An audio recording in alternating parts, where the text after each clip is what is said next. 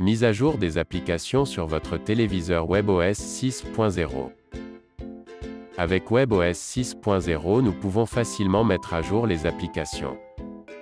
Le bouton d'accueil de la télécommande magique vous amène au tableau de bord.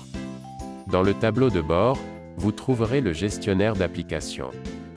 Le gestionnaire d'applications vous permet d'installer de nouvelles applications et de gérer les applications installées. Vous pouvez rechercher rapidement l'application que vous souhaitez mettre à jour.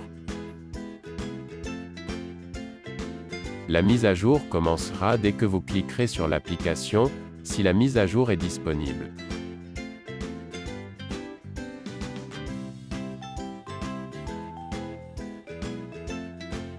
Vous pouvez également cliquer sur l'application depuis le tableau de bord de votre téléviseur. Si une mise à jour est disponible, l'application se mettra d'abord à jour avant de s'ouvrir.